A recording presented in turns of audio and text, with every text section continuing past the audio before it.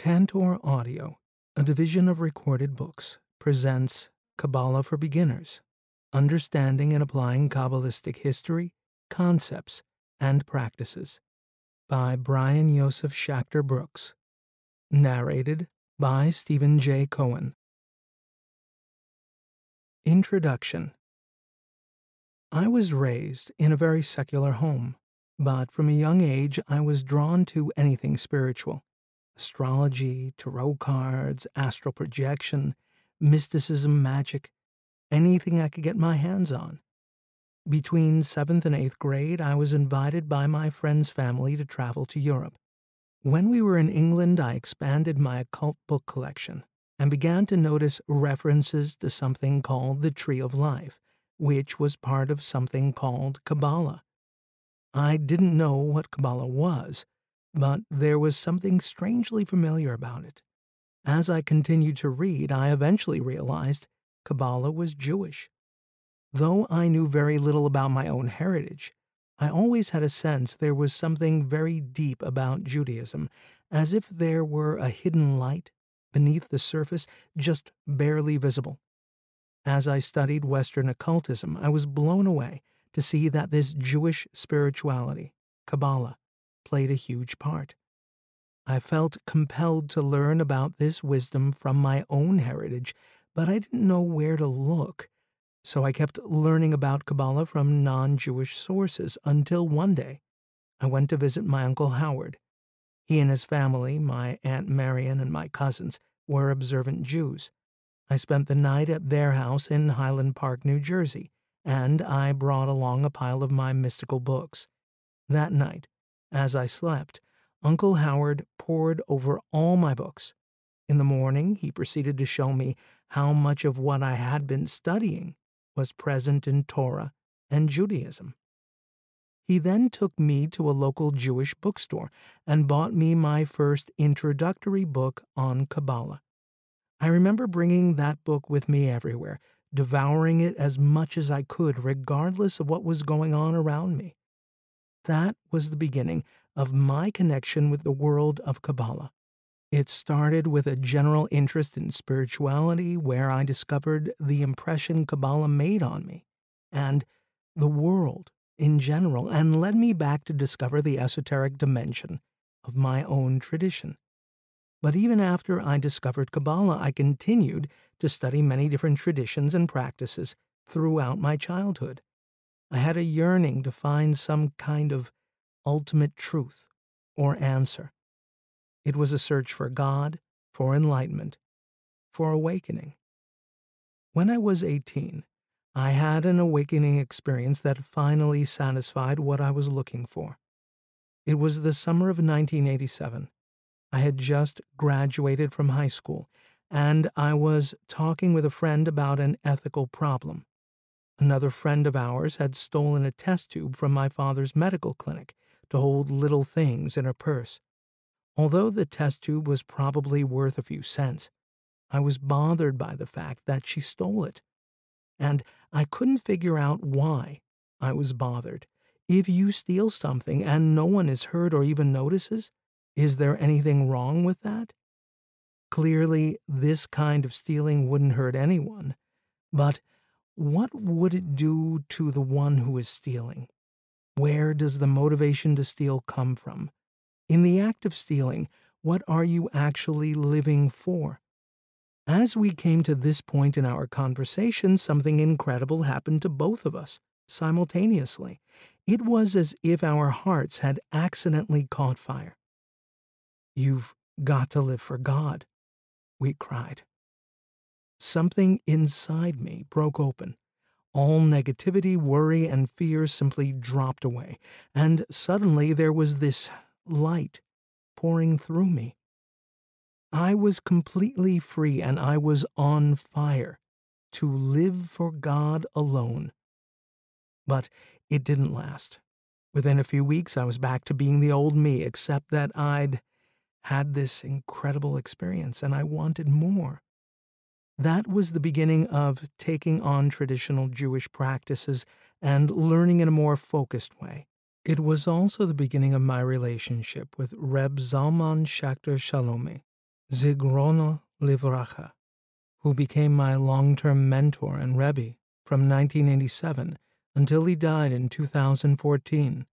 For years, I studied and practiced, but I didn't find my way back to the simplicity of that awakening I'd experienced until 1998, at which point my efforts had finally come to fruit. As Reb Zalman reflected to me, the key I discovered was the application of awareness to present moment experience.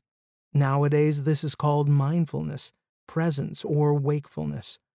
It is from this understanding that I began to write and teach on Judaism, meditation, and consciousness in the San Francisco Bay Area in 2006.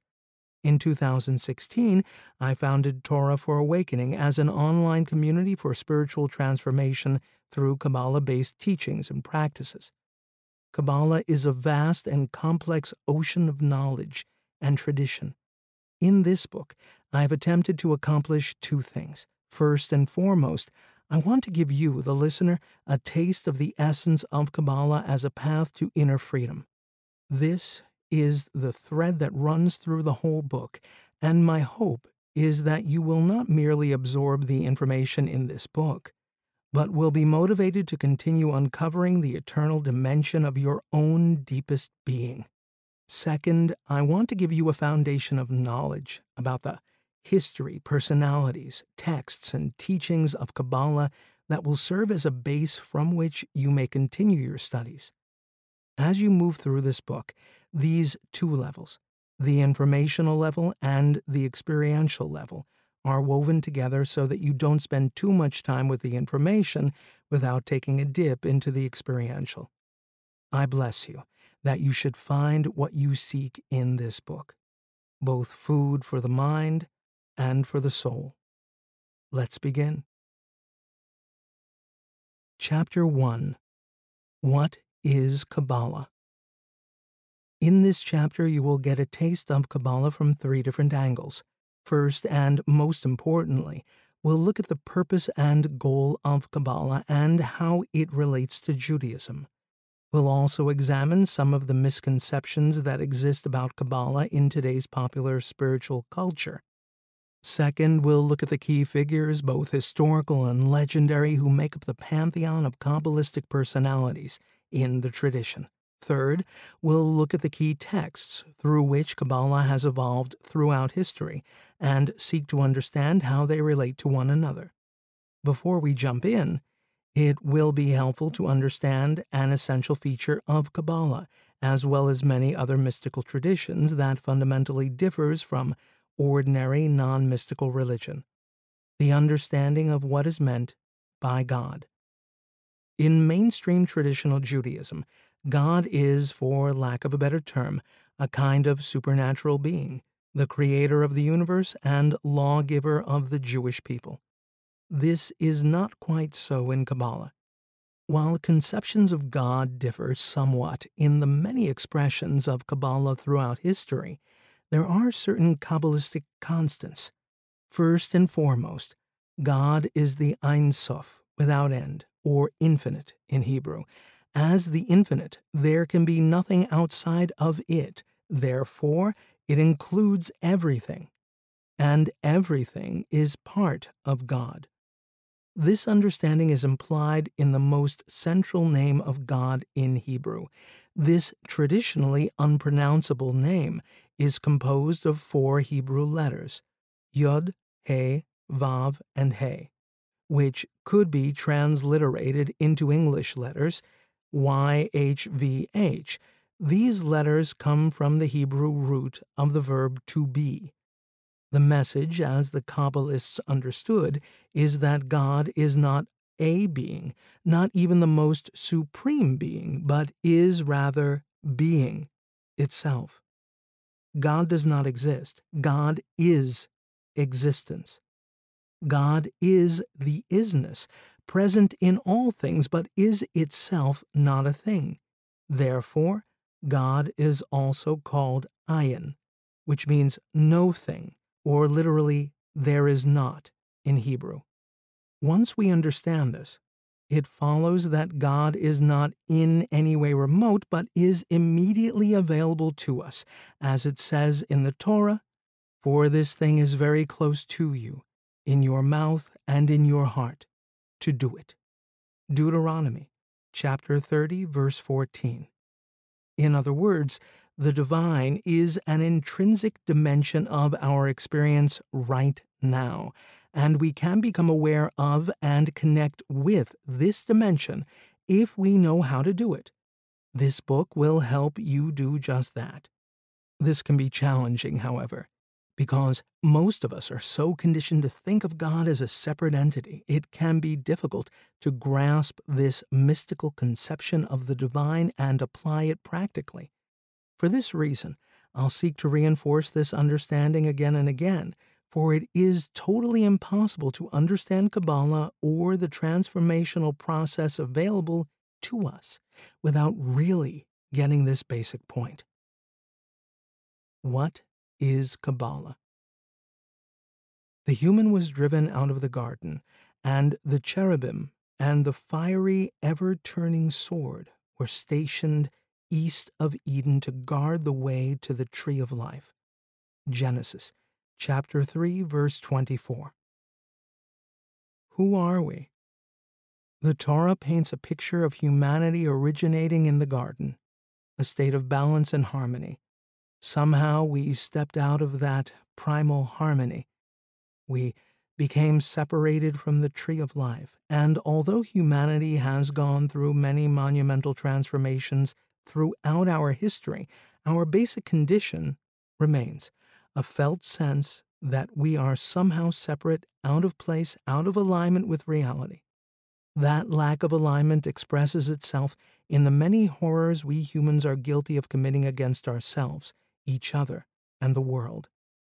The great spiritual traditions are remedies for our basic condition. They are guides pointing the way back to primal harmony, that simple and innocent aliveness we so long for. The story of the Garden of Eden resonates so deeply because we all experienced that simple and joyful aliveness in our infancy. It is deep in our collective memory. We know on some level that it is real, but the flaming sword of our minds and emotions seems to block the way.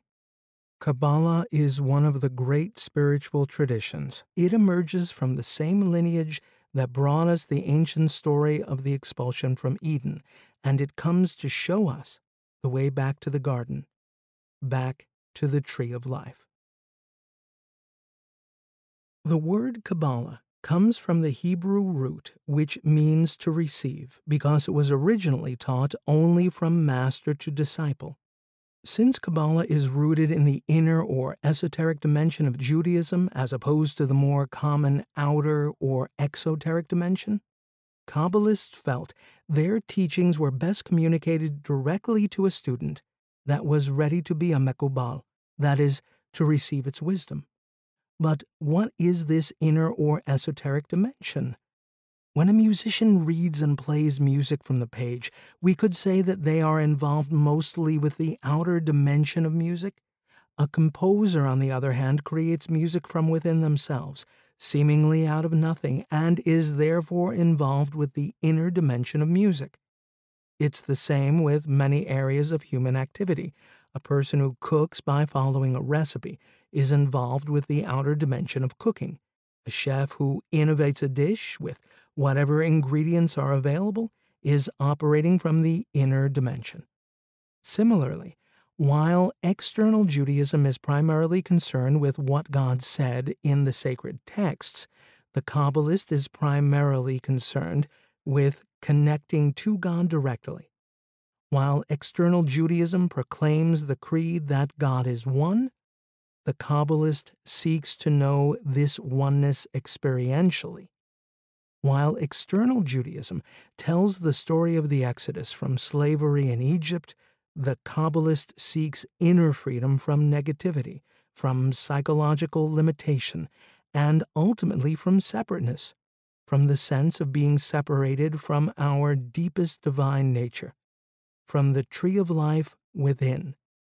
In fact, just as the story of the Exodus is central to Judaism, inner freedom is really the central theme of Kabbalah. The Exodus is the primary allegory for inner freedom, but there are other freedom narratives as well.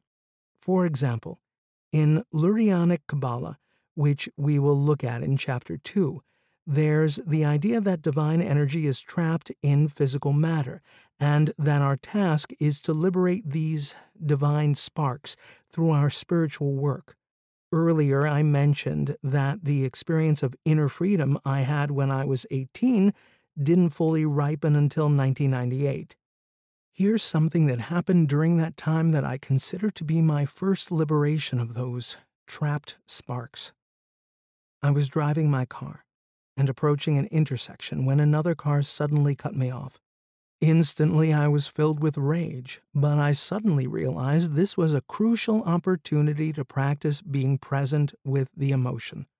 I brought awareness into deep connection with the anger. It was very painful at first, but then the anger seemed to move like smoke up through the body and out the top of my head. It was as if the energy trapped within the emotion of anger was set free. After a few seconds, everything looked completely different to me. I could see that the driver who cut me off was actually helping me. It dawned on me that everything I was perceiving the caw of a crow soaring through the sky, the road glistening with moisture from a recent rain, the bustling traffic all of it was part of one reality all of it was arising within and not separate from my awareness. Then I realized I am this awareness. I am not separate from any of this.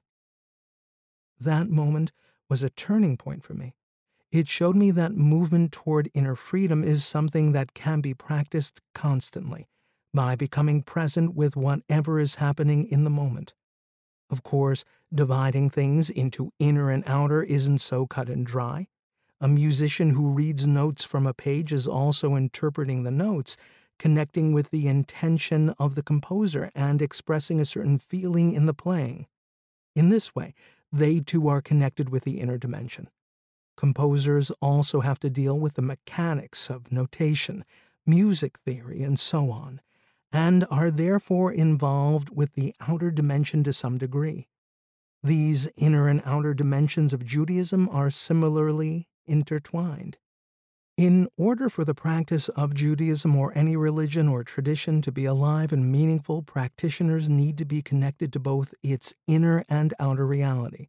Still, there is a difference between the Jew who is concerned primarily with rules of conduct, beliefs, customs, and stories, outer, and the Jew who is concerned primarily with living in connection with their divine essence, inner.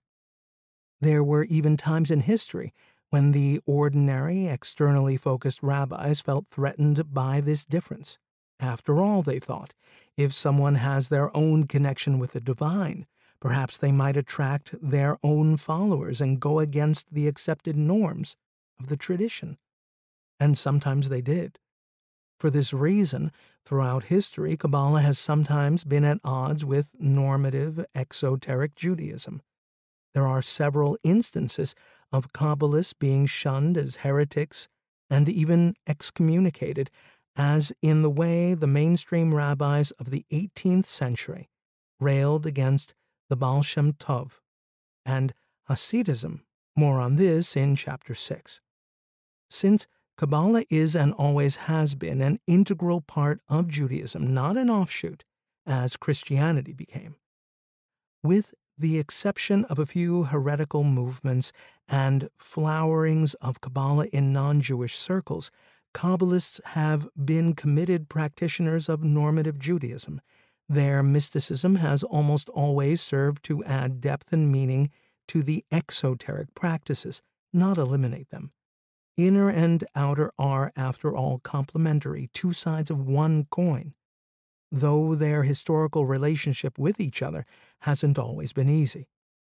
At the same time, the underlying principles of Kabbalah aren't dependent on practicing Judaism. Ultimately, Kabbalah points us to a direct connection with the truth of who we are and anyone can apply its principles to discover this deepest dimension of their own being, regardless of religious belief or practice. What Kabbalah is not. Before we explore what Kabbalah is in greater detail, it will be helpful to understand a little bit about what Kabbalah is not. Kabbalah has become popular in contemporary spiritual culture, and because of this, some misconceptions have become common. These misconceptions are not always entirely wrong, but they tend to miss certain nuances. For example, one common misconception is that Kabbalah is an ancient spiritual system. Again, this is not completely wrong. Kabbalah is rooted in Judaism, which is certainly of very ancient origin but the body of wisdom we call Kabbalah didn't emerge in writing until the 12th century. As we saw earlier, Kabbalah was first communicated orally, not through texts, so we don't know exactly when it started. The earliest Kabbalistic texts refer to an oral tradition upon which the teachings and symbols of Kabbalah are based, so we know it existed for some time, though we don't know exactly when or how this oral tradition developed. Furthermore, Kabbalah isn't a single system. Rather, there are many different systems that are part of Kabbalah, such as Theosophical Kabbalah, Ecstatic Kabbalah, and Hasidic Kabbalah, all of which we will explore in Chapter 5. These terms are related in that they share a common language, symbols, and texts, but their interpretations of these shared commonalities differ. As we move through this book, we will explore a number of different expressions of Kabbalah and pre Kabbalah throughout history and get a taste of what sets them apart from one another as well as what unites them.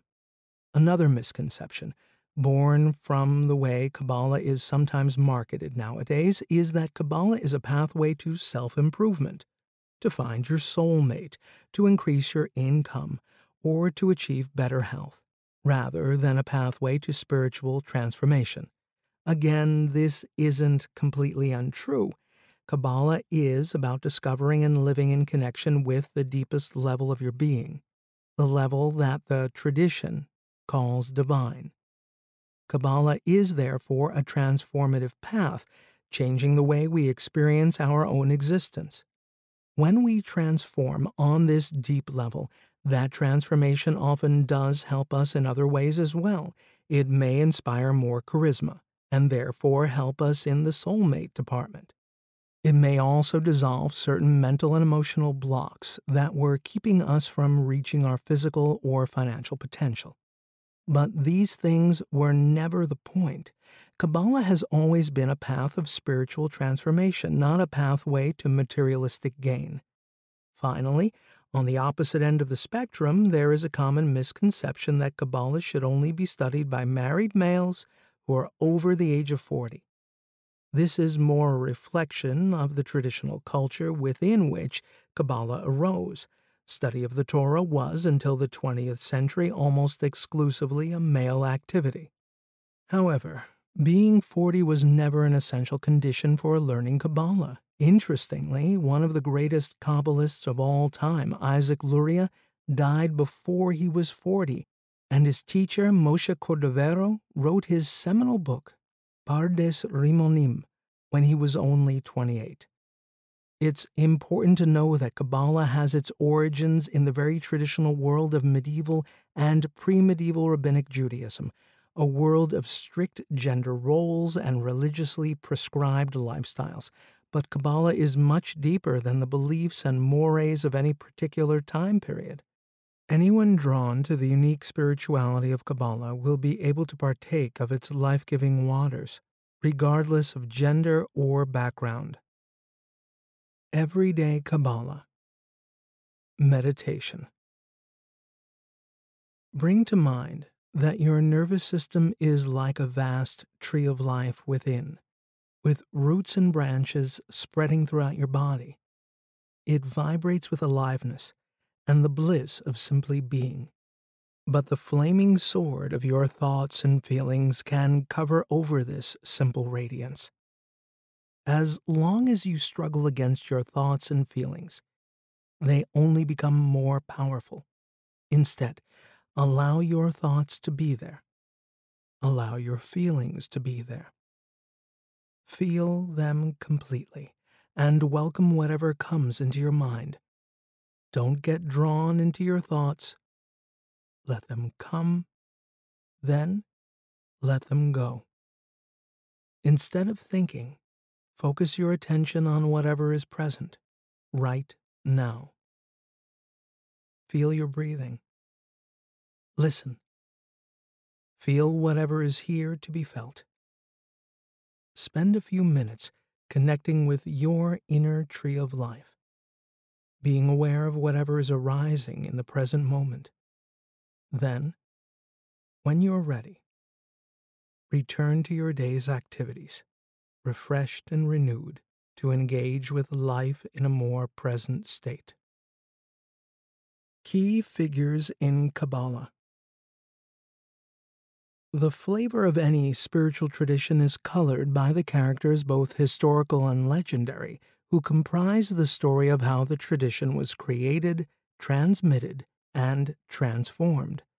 A study of Kabbalah wouldn't be complete without meeting the characters through which this tradition comes to us. Adam and Hashem Elohim placed Adam in the Garden of Eden to till it and tend it. Genesis chapter 2, verse 15. The Torah recalls how God created the first human, called Adam, from the dust of the earth. The Hebrew word Adam means human being, and Adama means red earth or clay. The first human being's name, then, was something like Earth Human. Adam is the primordial human, a symbol, in a sense, of all people and of the human condition. In fact, according to tradition, the souls of all humans who would ever live were contained within the soul of Adam. The biblical story relates to how Adam was first alone. We hope you enjoyed this preview. To continue listening to this audiobook on Google Play Books, use the link in the video description.